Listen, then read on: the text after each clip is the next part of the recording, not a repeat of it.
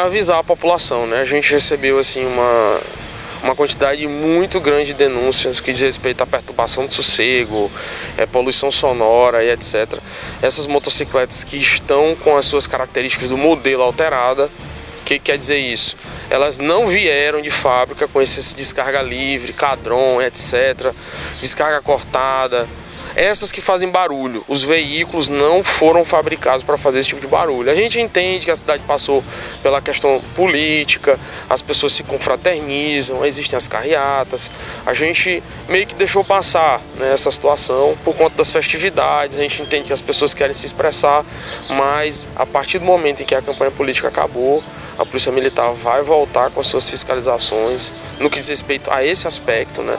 Ser mais rigoroso, a gente avisa para a população que se organize, que coloque novamente a sua descarga original na sua moto para que a gente diminua as ocorrências de poluição sonora, porque a gente sabe que a gente tem crianças autistas, a gente tem idosos e são essas pessoas que mais sofrem. Então a gente vai começar uma campanha interna aqui de fiscalização, as blitz, elas vão ser intensificadas e um dos focos vai ser isso. A gente já faz isso para combater arma, droga, eventualmente nas barreiras a gente acha alguma coisa e a gente vai começar a observar essas questões também. Então fica o aviso para a população para que se organize que nos próximos dias a gente vai começar a fiscalizar também a descarga torbal. Para quem for flagrado é, insistindo com essa prática, o que pode acontecer?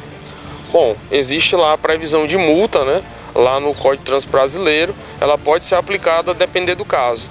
Então, na hora da barreira, o policial militar vai analisar o caso. Se for aquele caso extremo em que a pessoa realmente está fazendo outras coisas, né, que a gente sabe o que é, empinando pneu, grau, etc. Se for, vai ser observado e vai ser aplicado.